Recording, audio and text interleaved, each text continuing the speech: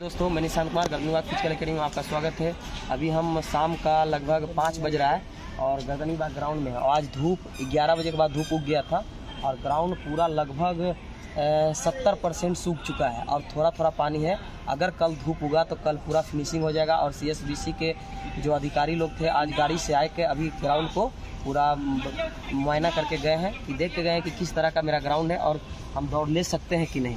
तो हमारे देखिए, ये सब चेला है, कुछ गाँव भी चला गया है और अभी भी हमारा प्रैक्टिस चल रहा है। और जैसे ही ग्राउंड सूखेगा तो फिर से जिस तरह से लड़की गर्दा उड़ाई थी, उस तरह से मेरे लड़के भी गर्दा उड़ाएँगे। ये नो डाउट जिस तरह से जल रहे हैं, लोग जलते रहेंगे और हम तो कयामत करते रहेंगे।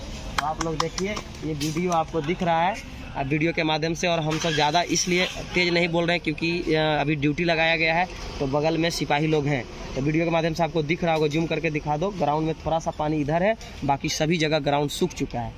तो आप लोग से यही अनुरोध है कि आप लोग जहाँ तैयारी कर रहे हैं, तैयारी करते रहिए, और मतलब कि आपको ज़्यादा टाइम दिया नहीं जाएगा। अगर कल धूप उगा तो परसों से आपको टाइमिंग दे दिया जाएगा। तो परसों है जो टाइमिंग आपको दिया जाएगा, आज हो गया सत्ताईस ना? छब्बीस।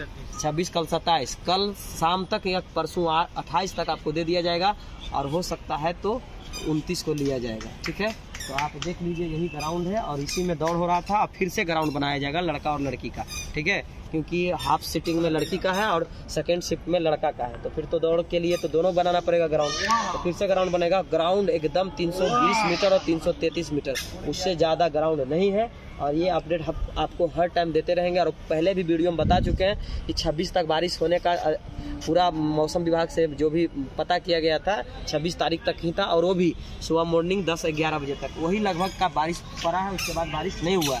और इतना कड़, कड़र से धूप उगा है, जैसा लगा ही नहीं कि आज बारिश हुआ था। तो समझिए कि बहुत अच्छा है, वीडियो।